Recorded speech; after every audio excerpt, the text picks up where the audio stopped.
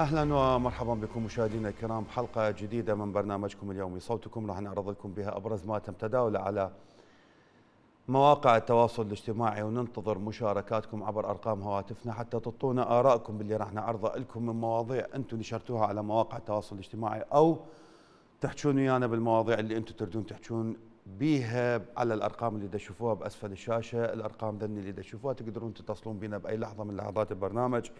في حال ما تأمن الخط وياكم لأي سبب كان تقدرون تتواصلون ويانا على الرقم المخصص لبرنامج الواتساب آخر رقم جوال بصف الاشاره آه، برسالة مكتوبة أتمنى تكون الرسالة متبوعة بالاسم والمكان حتى نقدر نقراها بالدقائق الأخيرة من حلقة هذا اليوم. مشاهدينا الكرام نبدي حلقتنا وأول ملف ويانا هو ملف المشاريع الخدمية والفساد اللي بيها والتلكؤ اللي تشوب هاي المشاريع. مواطن من البصرة يستغرب. تذكرون بانتخابات مجالس المحافظات اللي مضت؟ كانت أكو وعود. كانوا بها مرشحين بيهم اللي خسر وبيهم اللي فاز. اللي خسر إيش سوى؟ راح شال المولدة وقشر التبليط اللي بلطه. واللي فاز كان واعد الناس بس فلت. صار وعده بالضبط وعد عرقوب. وتسأل المواطن وين هاي الوعود؟ وين النشاطات اللي كنتوا تحجون بيها؟ وين حقوق المواطنين اللي قلتوا أنتم راح تكفلوها. وين الخدمات اللي أنتم قلتوا راح تحققوها للمواطنين؟ ليش اليوم كلها مختفية لدرجة إنه ما حد يسمع بيكم ولا أحد يسمع بمشروع ولا أحد يسمع بشيء أنتم وعدتوا الناس راح تسووا خلونا نسمع المواطن شنو قال. للأسف آه، يعني بعض ال- الأمور آه، لاحظناها قبل الانتخابات. يعني حقيقة اختفت آه، بعد الانتخابات. آه، شاهدنا أصوات آه، نادت بحقوق المواطنين. شاهدنا آه، يعني أصوات طالبت بتفعيل آه، دو- الدور الرقابي. لكن بعد الانتخابات وخصوصا إن هذه الأصوات نالت أو هذه آه، ال- الشخصيات نالت أصوات عديدة آه، يعني تصل إلى 4 إلى 5000 صوت. لكن بمجرد إنها لم تعتلي آه، أو لم تنال آه، الفوز في هذه آه، الانتخابات. لم نلاحظ آه، لها وجود على أرض الواقع. للأسف هذا آه، يعني يعتبر آه، خديعة للمواطنين نعم اليوم إحنا في قضاء شرق العرب كانت أصوات المرشحين تصدح في القضاء. تطالب ليل مع نهار للقضاء لكن اكتشفنا في النهاية هذه خديعة للمواطنين. آه، اليوم المرشح اللي حصل على 3000 صوت أو 4000 صوت هذه اصواته ذهبت إلى القائمة. ذهبت إلى قائمته لكن من بعد الانتخابات هل جاء المرشح؟ هل آه، طالب للمواطنين؟ آه، هل تابع المشاريع الفاشلة؟ هذا حال المواطنين اللي اليوم دا يتساءلون وين المرشحين وين وعودهم اللي وعدوا الناس إنهم راح يكونون متواجدين حتى ينفذون هاي المشاريع اللي هم رشحوا حتى شنو حتى يكونون أعضاء بمجلس المحافظات الجديدة أو مجالس المحافظات هذا الفيديو من ذي قار مواطن كشف بهذا الفيديو التحايل اللي دا يصير بالمشاريع وإحالة المشاريع الخدمية خاصة بمشروع. هذا المشروع انكتب عليه إنه هو مشروع للتوسعة وهذا مشروع لإعادة تأهيل أحد شوارع الناصرية. تبين بعد هذا الشيء إنه الشغل بس هو عبارة عن حفر ومد خطوط صرف صحي مجاري وراها يرجعون يبلطوه. لا أكو تأهيل ولا أكو توسعة. خلونا نشوف. طبعا هذا خ- المقطع يخص توسعات على أساس آه، شارع الكورنيش آه، بصوب الشامية. هذا يبدي من جسر الزيتون يوصلك وين لحد مستشفى التركي. هذا الشارع فقط بخط ناقل مجاري. والتو... والتوسعة ما بيتوسعه وهاي قدامكم. شوفوا هذا الحفر الشارع قدامكم. خاف واحد يقول لك هاي. زين التوسعة وين؟ إلا ازاله هاي البنايات هاي آه، جانب الطريق. توسعة. هذا الشارع فقط راح يبقى على وضعه. بدون توسعة. فقط خط ناقل مجاري واكساء إعادة تاثير بس إحنا شنو نريد نركز؟ إحنا قبل فترة من نشرنا قبل توقيع عقد محمد هادي محافظ الحين مشاريع مسحوب صلاحياته وهاي مخالفه حد ذات إدارية. من الحين مشاريع هو رجال ما عنده صلاحيات. من قلنا نحال المشروع شركتين بغداد هي الشمس سارة وتبارك الدولية.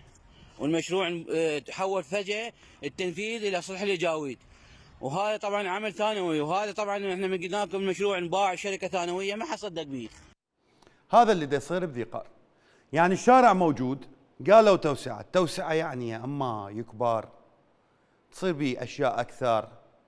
وإعادة تأهيل إعادة تأهيل يعني الشارع كله ينشال وينزل شارع جديد بمكانه حتى يعيدون تأهيله. لكن أنه ينحفر جزء من الشارع بنفس الحالة بنفس الوضع. وراح يرجعون نفس الشارع بس حتى يمدون أنابيب صرف صحي ويكتبون مشروع توسعة. زين الفلوس اللي راح ياخذوها التوسعة وإعادة تأهيل ويمدون مجاري بالبصرة. هذا الفيديو اللي تشوفوه أمامكم. اللي صاير هنا اكو سيارة لأحد المواطنين وقعت بحفرة. هاي الحفرة المحفورة بأحد شوارع البصرة انحفرت لمد أنابيب الصرف الصحي. شبكة المجاري. شبكة المجاري أصلا اللي ما تشتغل بحيث أنه كل شيء تيجي على العراق تمطر الدنيا تغرق. ذني الأنابيب اللي دا يمدوها شنو فائدتها؟ ما حد يعرف. بس الفائدة اللي بينت بها إنه أكو حفر. العالم متأذاية من عندها. المواطنين اشتكوا. يعني إذا أكو شغل بالشارع ليش مسادي ليش مقاطعي ليش ما حاطين شواخص تبين إنه أكو شغل؟ ليش ما أكو علامات دلالية تقول إنه هذا المكان بيه حفره أحذر الاقتراب منه أو لا توصل له أو لا تطب له؟ ليش أثناء العمل الناس تطب بشارع وتتفاجئ فجأة صارت حفرة بوجهها؟ وأيضا ليش الشغل بالعراق وبالبصرة يتأخر؟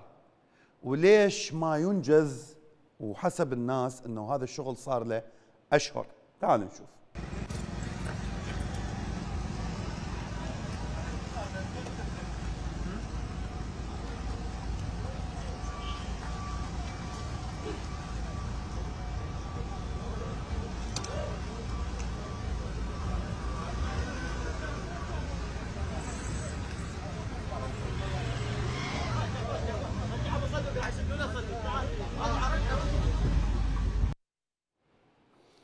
هذا الحال اللي تشوفوه أمامكم.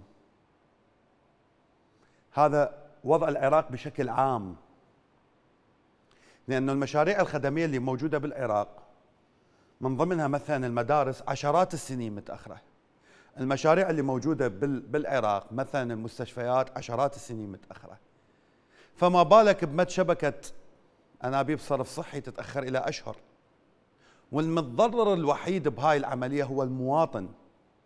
السؤال اللي ينطرح. صاحب السيارة اللي وقع بالحفرة. في حال إذا أصيب بضرر جسدي من اللي عوضه؟ الشركة المنفذة للمشروع لو دائرة المجاري لو البلدية لو المحافظة. وسيارته اللي تضررت منه اللي عوض عن هذا الضرر اللي موجود بها بسبب عدم وجود دلالات وعدم وجود شواغص وعدم وجود عمل صحيح. نفس زوله لو واحد ثاني لو راح يقولوا له استلم الباب. الناس لما شافت هاي الفيديوهات علقت أحمد حواس الزيداوي يقول أخذوا فلوس 15 مليون عن هذه الأسماء والبعض وعدوه بمنصب. سيد ناصر الموسوي قبل الانتخابات كلها تحب الفقراء وتساعدهم وراء الانتخابات ما حد بحال الفقير مع الأسف الركض وراء المصالح الخاصة. محمد عبد الله وين السياسيين والمرشحين اللي صرفوا فلوسهم على الدعاية الانتخابية؟ مليارات وترسوا الشوارع صور ضخمة وسعرها غالي. الله المستعان. وصالح مطر البجار يقول كل واحد صرف الملايين لأجل دعاية انتخابية وغلس وسكت ولا كأن هذا الشخص كان يقول في برنامج كذبة غاية المطالبة بحقوق المظلومين والمغيبين والمشردين من ديارهم قصرا وزورا وبهتانا. فكان هذا تعليق الناس على هاي القضايا. قضية المشاريع الخدمية اللي موجودة بالعراق اليوم اللي أبعد ما تكون. عن مشاريع خدمية. أكو مشاريع تسمى بمشاريع خدمية لكن بالمقابل ماكو أي خدمة بالعراق. أكو مشاريع لرصف شوارع وأرصفة وتبليط فجأة يكتشفون الناس إنه التبليط قاموا يسموه شكر لمة بحيث إنه مادة الإسفلت أو الجير بالأصابع تنقلع.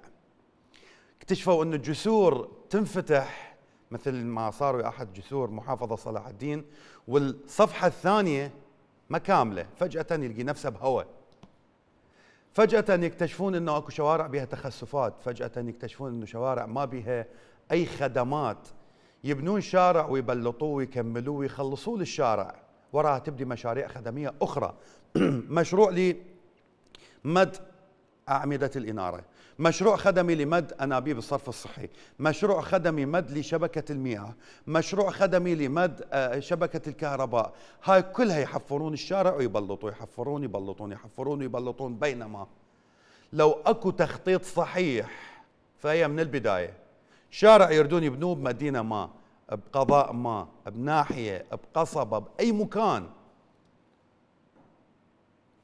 عندنا شارع طوله هالقد. مسافته هالقد يحتاج الشارع كذا وكذا وكذا وكذا. قبل ما يبلط يكملون ذني من انابيب صرف صحي من انابيب لمد الكهرباء من انابيب مياه من خدمات. وراها يبلطون وراها يبدي تأثيث الشارع ويكملون تأثيثه ويكمل الشارع وخلص انتهى الموضوع نهائيا. أبو زينب من النجف حياك الله. السلام عليكم. عليكم السلام ورحمة الله وبركاته. هي هاي الشغلة مو جديدة يعني من 2005 لحد الآن من أول انتخاب. نعم. ومن أول انتخاب هو بدأوا بالتزوير.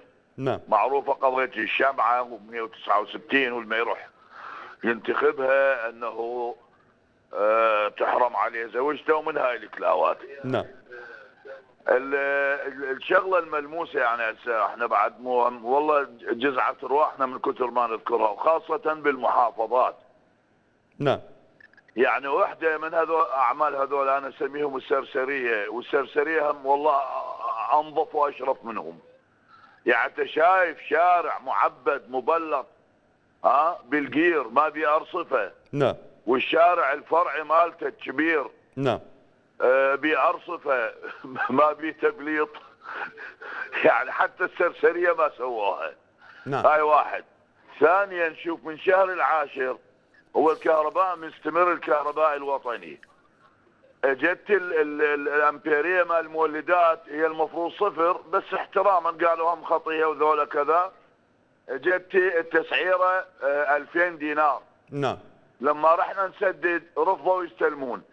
حولوها على الشهر اللي وراه 11 إيش قاموا يأخذون؟ قاموا يأخذون على ستة. نعم. النوب على هسه استلمونه ويطلع لك هذا أحمد موسى الناطق الرسمي باسم وزارة الكهرباء. نعم. لا علم ولا فهم ثالث ابتدائي خريج حوزة صدق كذب ما أدري. زين أجيب مهندس مختص بالكهرباء لا يعرف يحكي. نعم. وبدت التبريرات إذا تسمح لي. إيران قطعت الغاز وإيران قطعت الكهرباء. صار لكم 21 سنة ما استثمرتوا الغاز ما ليش إحنا نعم. فوق مليارات نعطيها لإيران؟ تسوي؟ وقاموا شنو؟ على مود يرفعون سعر الأمبير. نعم. تخابر أبو أبو اسمه اللي هم حاطين هم حاطين أرقامهم على كل المولدات. نعم. كهرباء الفرات الأوسط كهرباء ال ال النجف ما أدري شنو الشكاوى. ياهو تخابره يقول لك عيني انت مشتبه هذا مو رقم الكهرباء. يا شنو؟ قال هذا رقم النفط. نعم. قلت له مو هي مالتكم وأنتم طابعيها رقم النفط شنو؟ بعدين تجي كل المشاريع الأخرى يعني هاي مثل الاتفاق الصيني من عام 2018 إلى الان نعم. يعني ما يعني الصين تجي تبني لنا مدرسة أجيب لك في حي من الأحياء حي العدالة اسمه نعم. حي الظلم هذا. بأربع قطع مدارس وحدة مبنية بزمن صدام وثلاثة أرض فارغة غير المفروض يبنوها. نعم. بنوا وحدة صار لهم من 2018 إلى الآن فقط سووها هيكل هاي هي. نعم. الخدمات الصحية الخدمات المدري شنو المي والمجاري كلها صفر. أو مية تحت الصفر. تجي الازبال والهذا موجودة؟ وأنا دزيت لكم صور ودزيت لكم حتى فيديو. نعم. الأزبال والأنقاض المصيبة أنه مكتوبة بالورقة تجيك. الماء والمجاري والتنظيفات. وأنا رحت قابلت مدير عام ماء ومجاري نجف. قلت له افتهمنا الماء والمجاري. التنظيفات شنو؟ قال هاي الأزبال. قلت له تعال اعبر الشارع بس. لا أزبال لا أنقاض مال المحافظة كلها ذهب بيها وهذا حي راقي وحي جديد حي نظيف. قلت له بدل ما تنظفوه سووا حدائق للمت... للعوائل وكذا. تجيبون الأنقاض والأزبال تذبوها يعني لا هو منظر لا هو ريحة لا هو كذا. ويحكي لك قال لك قال الله وقال الرسول لا نعم. لقاهم الله ولا الرسول. فهذول من تروح لها تروح لها يقول لك أنت مو ضمن منطقتي. انت مو من دائرتي. انت قلت له بابا انت مخصص للشعب كله. نعم. ومن تروح على اي مخالفه للمجلس البلدي أنا مرة رحت راجعت رحت هذا شي سوى أبو المولد يعني يقول لك إذا ما يعجبك أشلع وارك وذبه تقول لي إيه جيب لنا وياك لازم 32 شاهد. قلت له شنو القصة؟ إذا قاتل يقتل إنسان شهود عدول اثنين كافي. وهذا نعم. على مود أبو مولدة. تردين سبتي أنه أنا صاحب حق لو لا تقول لي 32 شاهد هاي وين صايرة؟ وشكرا جزيلا. نعم. شكرا شكرا جزيلا لك أبو زينب. أبو ميمونة من كركوك حياك الله. أبو ميمونة؟ نعم. إذا امكن تنصي لي صوت التلفزيون تسمعني من التليفون يا غالي. نعم. حياك الله. شلونكم اخباركم؟ هلا بيك يا الغالي تفضل. ممكن آه، مداخلة اخاف آه، يعني هو آه، تعبير عن رأي ممكن. نعم. اللي ضد يعني توجهكم بارك الله فيكم. يعني ما مو إنه يعني هو هذا يكرهكم لو شيء لو هاي لا بالعكس. بس اللي ضد توجه القناة يعني ما يصير اقابله ب- بحكي هو يطلع مو زين وهذا. يعني بس هاي اريد اقولها صدقني يعني ما عنده شيء وياكم بس إيش اريد اقولها يعني مثلا شنو اللي ال- ماكو رد عليه أخوي العزيز؟ نعم. شنو الشيء اللي أنت مثلا تشوفه وتقول ماكو رد عليه؟ لا اللي أقول آه، أكو واحد مذيعينكم عجبني يعني مع احتراماتي لجنابك قال حتى اللي يبون سياسة القناة حتى اللي يبون سياسة القناة يعني عبر عن رايه بأدب وأخلاق وهذا قال نحترم رايه إحنا نريد يعني إيش تستمرون؟ بارك الله بكم وهو هذا المطلوب أخوي العزيز يعني هل مثلا تشوف إنه أكو تجاوز؟ أنت آه، تقول إنه صار عدم رد عليه بحيث تعتب علينا هذا اللي نريد نستفهم من عندك عليه. واكو أكو يعني حقيقة أكو. انه انه مو كل شيء تقولونه أنتم جزء مو كل شيء تقولونه صحيح. اكو اخطاء اكو شيء اكو يعني يعني اكو واحد ضد سياسة القناه يعني ما أبي أشتغل ذا واحد ضد سياسة القناه حياك الله أخوي وكل شخص له رأيه وهو حر برأيه. إحنا ما لنا علاقة إنه هو معنا أم ضدنا. إحنا بدنا نحكي عن مشاريع مثلا. تأخر مشاريع وتلكؤ مشاريع انهيار القطاع الصحي انهيار القطاع التعليمي انهيار الخدمات بالبلد انهيار البطاقة التموينية الرعاية الاجتماعية الوضع التعبان ال- اليد العاملة الأجنبية. يعني تقدر تعطيني نقطة من هاي النقاط اللي إحنا نقولها مو صحيحة؟ ممكن أقول لك الحق؟ نعم. لا الرعاية الرعاية الاجتماعية كل العراقيين ياخذون رعايه اجتماعية. إيش قد الراتب؟ لا okay okay. كلهم مشا... إيش قد الراتب؟ وينطون للطلاب كل واحد 30000 وراح إيش يجيب قد؟ إيش قد إيش قد أخويا؟ صدقني أنا مو بس اسمعني أنا مو الحكومة صدقني ولا وياكم. لا وياك وياك. راتب الرعاية الاجتماعية إيش قد؟ 275 275 تقدر تقول لي راتب الرعاية الاجتماعية 275 يعني 100 و 140 130 دولار. إيش قد تكفي الفرد العراقي بالعراق بوسط غلاء معيشي اليوم موجود بالعراق؟ كلامك صحيح بس أنا هذا اللي نقصده أنا ما دا أقول لك ماكو رعاية اجتماعية. إحنا بدنا نحكي على مساوئ الرعاية الاجتماعية. بدنا نحكي على ناس عندهم أغنياء وتجار وعندهم رواتب بالدولة وياخذ رعاية اجتماعية. وشخص عايش بتجاوز ما عنده مصدر رزق كاسب ما يقدر ياكل ويشرب ما عنده رعاية اجتماعية. هذا نحكي عن الرعاية الاجتماعية.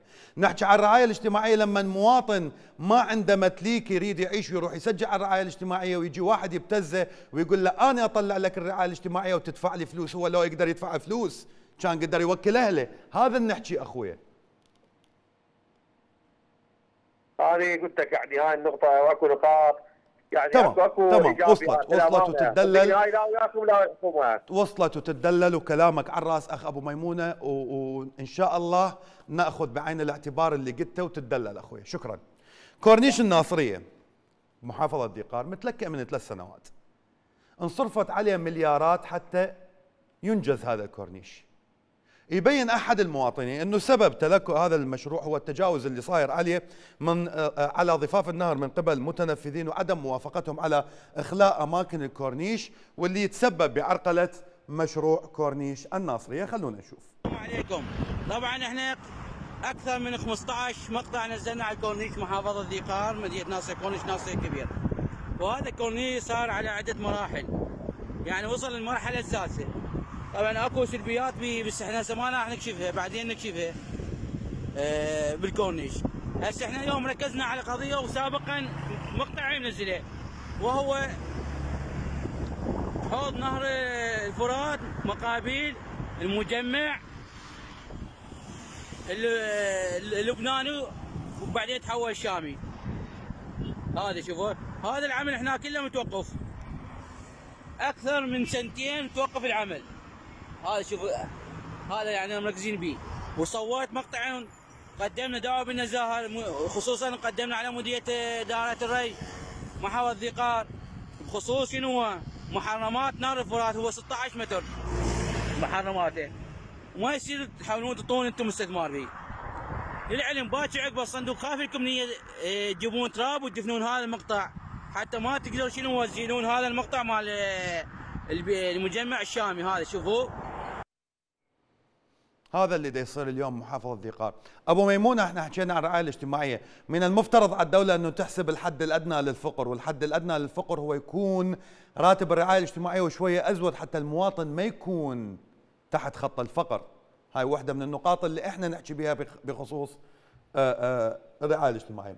من بغداد اشتكوا أهالي آه، الأعظمية من الإهمال اللي صاير لكورنيش الأعظمية الجميل وعدم إنجاز الشغل به أحد المواطنين يقول رغم إزالة كل التجاوزات وكل الأكشاك وكل الكافيهات والكافتريات والكوفي شوبات اللي موجودة على ضفاف نهر دجلة في الأعظمية لكن ترك كورنيش الأعظمية من دون أي إكمال ويتساءلون شنو سبب إهمال الكورنيش بينما يتم العمل بأماكن أخرى. خلونا نشوف. العظمية باعوا كورنيشها كل زين باوع. شوفهم ياب هذا كورنيش الأعظمية شوفوا الخراب.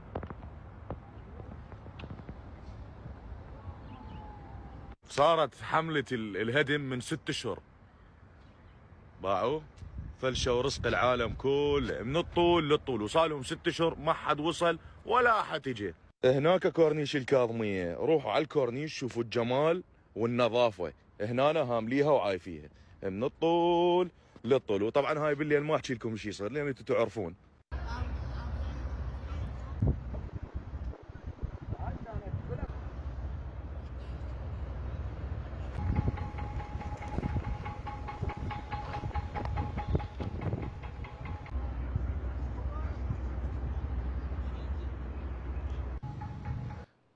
بعيدا عن الخراب اللي موجود بالكورنيش تعرفون شنو اللي يقهر أكثر همينة؟ انخفاض منسوب نهر دجلة في بغداد.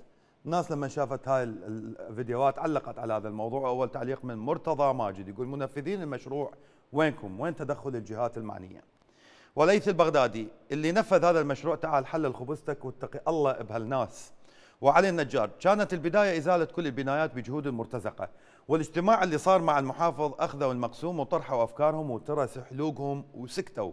وعبد الستار الدليمي يقول نرجو من جهات المسؤولة إظهار معالم مدينة الأعظمية كونها لؤلؤة بغداد. فكان هذا تعليق الناس على قضية الكورنيشين اللي موجودين واحد في محافظة ذي بالناصرية وكورنيش الأعظمية في العاصمة العراقية الحبيبة بغداد. نطلع من قضية المشاريع الخدمية ذني ملف نحكي بها عن تلكؤ المشاريع الخدمية. هسه نروح إلى الواقع الصحي المتردي. هذا الواقع اللي اللي يمس المواطن بشكل أساسي. اشتكوا مواطنين من انقطاع التيار الكهربائي. راح يجي واحد يقول ليش يشتكون المواطنين؟ صارت عادية بالعراق أكو مولدات لكن وين؟ مو بالبيت. انقطع التيار الكهربائي عليهم بمستشفى أهلية بمحافظة بابل. تمام؟ هم وين كانوا بالمستشفى؟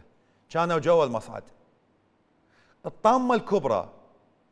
ماكو كهرباء طوارئ ولا مولدة طوارئ ولا أي شيء. وظلوا محبوسين بالمصعد فترة من الزمن لأنه مطفيه الكهرباء بمستشفى أهلية. اللي الوزارات العراقية شكو شيء أهله شكو شيء أهلي وخاص تدعمه. خلونا نشوف. مستشفى تطفي بها الكهرباء بنص المصعد. والله عجيبه بالله العظيم. شيء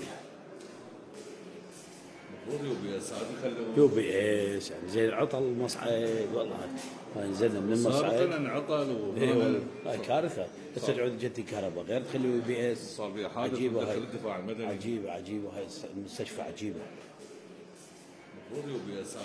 UPS يعني زي العطل المصعد والله.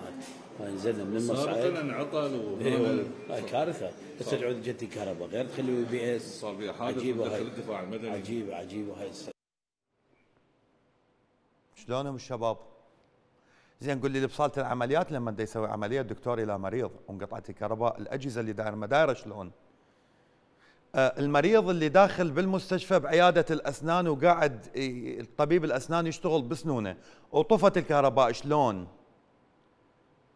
المريض اللي اللي اللي يحتاج إلى أجهزة في حال وجود حالات حرجة واللي موجود بالإنعاش. شلون؟ المواطن اللي طاب ده يسوي تحليل أو أو شيء من الأشياء اللي يحتاج كهرباء. مثلا جهاز الطرد المركزي مال مال عينات الدم وطفت الكهرباء شلون؟ يعني ذني كلها لازم يعيدوها. وبالعمليه شو يسوي؟ يقبط وينتظر الكهرباء تجي ليشتغل النوب؟ لو يشتغلون على الإنارة مال التليفون. من البصرة. عندنا مريض يشكو. من من حالة خطرة هي. حالة خطرة من من من من عدة نواحي. من الوزارة من الهيئة هيئة الصحة اللي موجودة بالمحافظة من الإدارة مال مال الصحة اللي موجودة بالمحافظة من إدارة المستشفى اللي هو بيها من الكوادر الطبية من الأطباء من الممرضين من كل العاملين. يشكو من إهمال حالته من قبل كوادر آه، العمل الطبية في مستشفى الشفاء العام. هاي الحالة صارت تتكرر هواية بداخل المستشفيات الحكومية إنه مريض يدخل ماكو واحد يهتم به بالوقت اللي يجب أن تكون مهنة الطب مهنة إنسانية. مهنة بها رسالة إنسانية. وأكو قسم الدول أطباء لما تخرجوا لمساعدة الناس وشفائهم مهما كانت الأسباب. قبل أن تكون المهنة تجارية. تعالوا نشوف. رسالة إلى وزير الصحة. رسالة إلى مدير صحة البصرة. رسالة لمن إلى مدير مستشفى شفاء. هذا المريض صار له ساعتين برتها مخابرين الدكتور جراح ولحدان ما جاي. زين إذا صار شيء هذا المريض توفى من المسؤول عنه؟ المستشفى لو غير المستشفى. وينك يا رئيس الوزراء شوف هاي الحالة الموجودة منها في هواي عندنا مريض ما حد بحاله. لحد الان ما جاي الدكتور الاخصائي مخابري له. من المسؤول بالمستشفى؟ ما حد. يعطيك كذا بخبرنا الدكتور لحد الان ما جاي الدكتور. السؤال اللي ينطرح هنا على وزير الصحة. أنت أدائك بالوزارة شنو؟ أو وضعك بالوزارة شنو؟ أو مهمتك بالوزارة شنو؟ صفقات؟ لو تدعم مستشفيات أهلية. زين. أكو أطباء وأكو كوادر طبية بالمستشفيات. دا يسوون مثل هاي الحالات. هاي نسخة لازم تروح إلى نقابة الأطباء وإلى إدارة المستشفى. وإلى آه، آه، الإدارة الصحية أو المديرية مديرية الصحه في المحافظة وإلى المحافظة وإلى وزارة الصحة اللي موجودة في بغداد وإلى رئاسة الوزراء كونها هي آه، يعني أهم سلطة تنفيذية بالبلد. ذولا كلهم لازم يحاسبون من الطبيب إلى أعلى واحد بيهم لأن هم كلهم سبب هذا الشيء. يعني هاي الناس لما الطب وهي مرضى وقاعد يتلوى من الوجع هذا ينتظر؟ زين إذا طلعت الروح إلى باريها لا سمح الله. بسبب إهمالك أنت كطبيب أو بسبب إهمالك أنت يا مستشفى. من اللي عوض روح الإنسان اللي راحت بسبب الإهمال؟ راح تقول لي قضاء وقدر آمنت بالله بالحالات الطبيعية. أما إهمال كادر طبي هاي مو حالة طبيعية. طبيعية. الناس لما شافت هاي الفيديوهات علقت على هذا الموضوع. وأول تعليق موجود ويانا من زيدون المقصوصي يقول مدير صحة البصرة تابع المستشفيات بدون تصوير كاميرا. رب العالمين واضحة وخاصة في أوقات الليل سوف ترى الإهمال والفشل في بعض المستشفيات. أبو كامل الساعدي. مدير صحة البصرة المسؤول الأول على هذه الحالات لكن للأسف السيد المدير مشغول فقط بتصوير فيديو لكل لقاءاته. نأمل وقلنا ونشرنا كثيرا زيارة مدير صحة البصرة إلى مستشفيات البصرة الحكومية في ساعات متأخرة من الليل. وبدون علم إدارة المستشفى ويا ريت يكون بصفة مراجع أو مريض وشوفوا بعينك استهتار المستشفيات. أبو فهد الدراجي. من تروح المستشفى خاصة تلقى دكتور موجود خفارته ويبات بالمستشفى ومن تروح لحكومة تلقى دكتور أبو الاختصاص فالت للبيت يقول لهم خابروني. وعباس حيدر هو الطبيب يبقى تحت الاستدعاء يعني لازم يتصلون على المقيم الأقدم وتنتظر ساعة نص ساعة ويجي يكشف على المريض إنه بيتصل هو على الأخصائي وتنتظر ساعتين يلا يجي. هي المشكلة مو بنظام الوزارة والطبيب ما حد يحاسبه لأن وزارة أطباء صارت. يعني يقصد أن الوزارة صارت بقيادة الأطباء أنفسهم فصاروا هم آه، اللي يتحكمون بهاي الوزارة وماكو أحد يحاسبهم. أبو عمر من بغداد حياك الله. حياك الله أستاذ أفل المحترم وتحياتي لقناة الرافدين وجميع السادة المشاهدين. الكرام. أهلا وسهلا.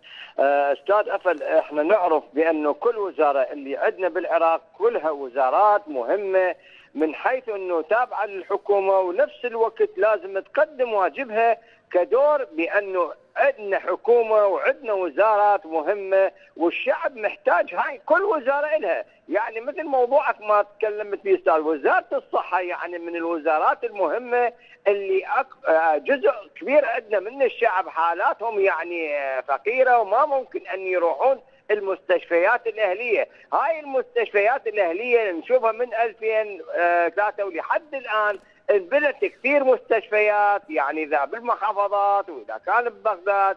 هاي من وجدت من أجل آه، الأحزابهم الفاسدة ومن أجل المبالغ اللي يحصلون عليها يعني العمليات الصغرى والعمليات الكبرى. وكل هاي الأمور يعني تزيد من الفساد اللي, اللي هاي الحكومات اللي جاي تحكم العراق، طيب كثير عندنا مواطنين وكثير عندنا من الفقر وكثير عندنا من العطالة والبطالة اللي وصلت نسبة الفقر أكثر من 40%، هذول نعم. شنو ذنب الناس إن يشوفون الكادر ال- ال- بالمستشفى؟ أي كادر يعني؟ وما عندهم أي يعني دور يعني واجب إن يقدمون خدمة للمواطن. ناس المفروض عليه من المدير العام وزير الصحة ان يتابع هاي الأمور. يعني من تكون عندنا حكومة لازم نفتخر بهاي الحكومة بس للأسف هم دي ينزلون مستواهم هم قاعدين يقلون من شأنهم. قاعدين يعني بهاي امورهم مثل وزارة التعليم كل هاي الوزارات يعني يقولون إحنا ناس فاشلين وإحنا ما نقدم خدمة يعني مجانية للشعب. بس علينا بناء المستشفيات هاي الأهلية لأنه تابعة لنا وإحنا المواطن قمنا بعد ما نهتمنا. هاي الصورة يعني توضح انه ان للشعب نعم. العراقي.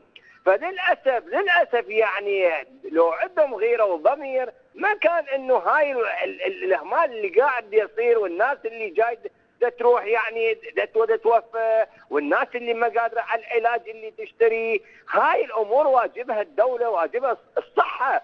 يعني إحنا شنو فائدتنا إنه عندنا هاي الأحزاب اللي كمشت الوزارات والعمايم الفاسدة اللي يدعون إحنا الإصلاح واللي يدعون إحنا ناس يعني أهل هذا البلد؟ وينكم وين غيرتكم؟ على بلدكم على حبكم لناسكم وأهلكم. أنتم ناس تبعية لايران وناس بتحبون العراق هذا وضع العراق كل المستشفيات اللي كان بالكاظمية أو مدينه الطب أو مستشفيات الكندي هاي اللي كلها نعم، نعم، يعني نعم. يعني أصبحت مستشفيات تدخل بها يعني أجلكم الله الحيوانات كلها مستشفيات وسخة نعم. هاي المفروض يتحاسب المدير ويتحاسب كل. اللي اللي مسؤول بها بس للأسف إحنا ما زالت عندنا لا عندنا حكومة ولا عندنا وزارة بيها تمثل وزيرها وتمثل مدراها ناس كلهم فاسدين. نعم، بس نعم، مجرد نعم. إنه يستحصلون على هاي المبالغ. ما نقول إنه حسبنا الله ونعم الوكيل من هاي الحكومة وأحزابها. نعم، نعم، وحسبنا الله وحسبنا الله ونعم الوكيل. وتحياتي لك تحياتي تحياتي لك ابو عمر شكرا شكرا جزيلا. العظيمة. لك. لا أنا أتمنى المسؤولين الموجودين بالعراق خصوصا على ملف الصحة يطلعون إلى دول الجوار ودول العالم ويشوفون بالعالم أكو مستشفيات حكومية وأكو مستشفيات خاصة. المواطن الفقير يتعالج والغني يتعالج، راح للحكومة يتعالج راح للخاص يتعالج، الفرق في دول الجوار والمنطقة أنه ممكن تلقى فرق بالغرف بالخدمات بالحالة اللي أنت تشوفها مو بالعلاج. أما بالعلاج الفرق نفس الشيء. إلا بالعراق.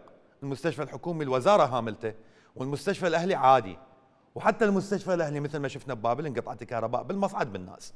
نروح إلى الانفلات الأمني اللي يعيشه العراق واللي مستمر بهذا البلد وانتشار السلاح على قدم وساق رغم إعلانات الحكومة ووزارة الداخلية عن الحد من هاي الأمور. بهذا الأسبوع صار عندنا أكثر من ثلاث نزاعات عشائرية طاحنة راح ضحيتها عشرات بين قتلى وجرحى. أولها كان بمنطقة الهندية التابع لمحافظة واسط أو تابعة لمحافظة واسط. ورا ما نشب صراع مسلح بين عشيرتين بالمنطقة ولحد لحد هاي اللحظة ما نعرف شنو سبب النزاع اللي صار بالهندية.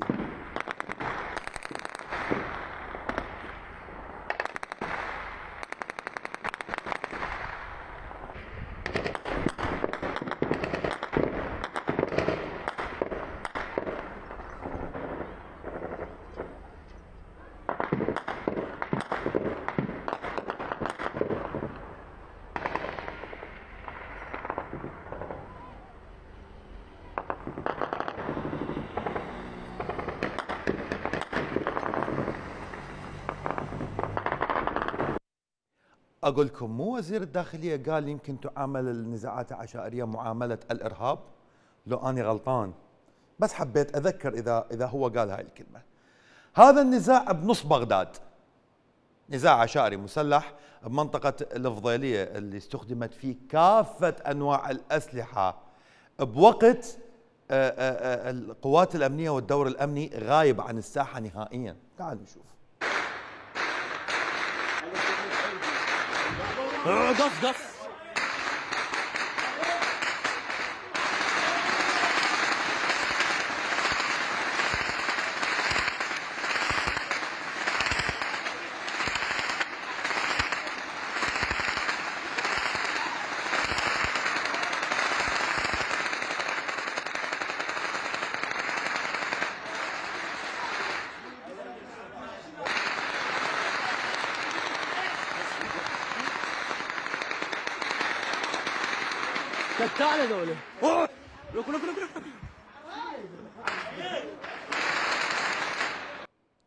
واحد يسلم لي على عبد الأمير الشمري يقول له حبيبي ترى هاي بغداد بصفك شمرة عصا مو بعيد عليك.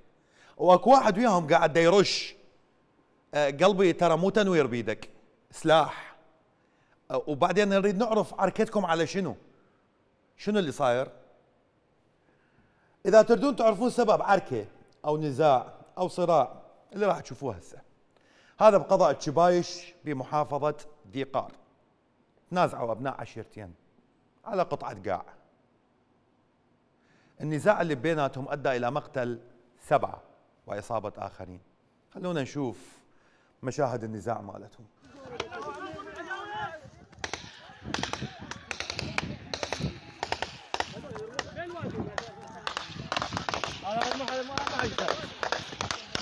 كذا لابد ان بفرزون أما هسه تفزع لي الوادم الكضه صعبه هسه الوادم ترجع لي الكضه بلي رمي؟ سوون أنا كل شيء طالع عليكم! تعال تباك هذا هو رمى؟ آه.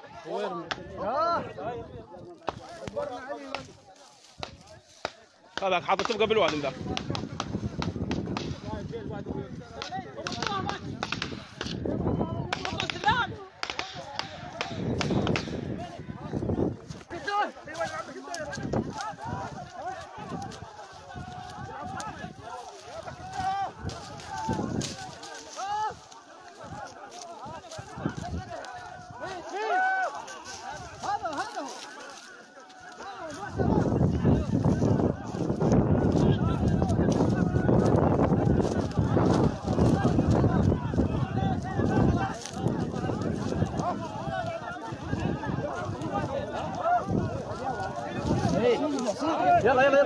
هذا؟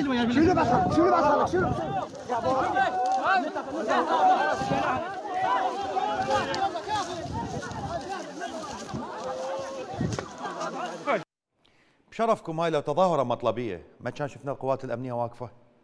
هاي لو شباب خريجين يردون يتعينون ما كان لقينا القوات الأمنية على السريع واقفة بمكانهم. يمكن آه، آه، إحدى آه، أساسيات قوات الأمن العراقية هي التعامل مع التظاهرات فقط. أما أي شيء شايل سلاح هذا مو من دورهم. فعليه يجب استحداث قوات أمنية جديدة حتى تتعامل ويا النزاعات العشائريه المسلحة اللي تسبب موت. بس مواطن يريد يطلع يتظاهر حتى يتوظف. هذا ممنوع منعا باتا. يضرب ويسقى عليه الماء الحار. المهم ناس لما شافت الفيديوهات علقت إسراء الصفار تقول غير تستخدمون أسلحة أكثر. تطور وين؟ الطائرات تستخدموها للقصف أكثر خسائر في أقل وقت إن شاء الله. محمد الزيرجاوي يقول غياب القانون تكون هكذا النتائج. وعلاء يوسف هاي تالية حكومة حبر على ورق. هذول وين كانوا قبل 2003 كان بيهم زلم لا والله إيش حد اللي يفتح حلقة؟ وأبو سجاد البهادلي عافية عراق بس الرمي والنزاع العشائري ماكو والعراق والنزاع العشائري ماكو مخافة الله ولا قانون يردع الخارجين عن القانون والسلاح المنفلت فكان هذا تعليق الناس على هاي القضية هي السلاح المنفلت. اليوم هو اليوم الدولي للتعليم واللي تصادف ذكراه 24 كانون الثاني آه، من كل عام. 24 واحد من كل سنة هو يوم التعليم بالعالم.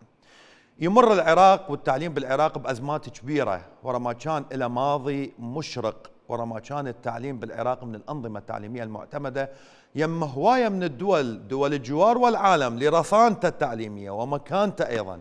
أما اليوم فهو بعيد كل البعد عن الرصانة وعن الاعتراف العالمي بأنظمة التعليم العراقية لهزالتها الانفوجرافيك التالي اللي أعد لنا قسم التواصل الاجتماعي بقناة رافدين يتكلم عن هذه القضية. خلونا نشوفه.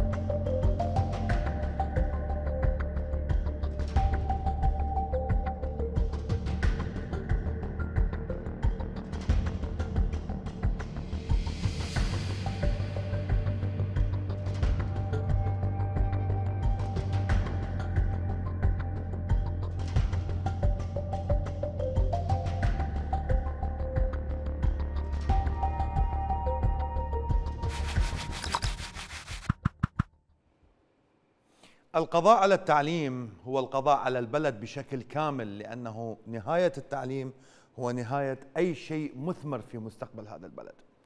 الكل يعرف أنه آه، آه، القناه عندها نافذة تعتمدها هي نافذة أنت ترى لوضع رسائل الناس حتى يصورون اللي هم يردوه من رسائل وتنشر على قناة الرافدين عندنا فيديو من مواطن يشكو من تلكؤ المشاريع الخدمية اللي موجودة في آه، محافظة بابل تحديدا في ناحية الإسكندرية. هذا المشروع آه، متلكئ منذ منذ أكثر من سنة وتلكؤ هذا المشروع يثقل كاهل المواطنين ويسبب بسرقة أغلب الأموال المخصصة لهذه المشاريع بحسب كلام الشخص اللي أرسل لنا هذا الكلام ودزلنا هاي الرسالة وأتمنى أنه نطلع في آه، برنامج صوتكم ونتكلم عن قضيتهم في ناحية الإسكندرية شمال محافظة بابل من وجود الكثير من المشاريع الخدمية المتلكئة ويقول هاي المشاريع دا تسبب لنا معاناة هاي المشاريع دا تأذينا وأكو سياسيين وأكو ناس يقولون إحنا جايين لخدمتكم. وين قضية خدمتكم؟ وين قضية العام 2024 عام الإنجازات؟ وين قضية إنه الناس لهم الأحقية بهذا البلد؟ فأرسلوا لنا هاي الرسالة. أه مشاهدينا الكرام هذا كل ما موجود أنا بحلقة صوتكم لهذا المساء. مشاهدينا الكرام نلتقيكم على خير إن شاء الله. بحلقة جديدة من برنامجكم اليومي صوتكم يوم الجمعة إن شاء الله. انتظروني. في أمان الله.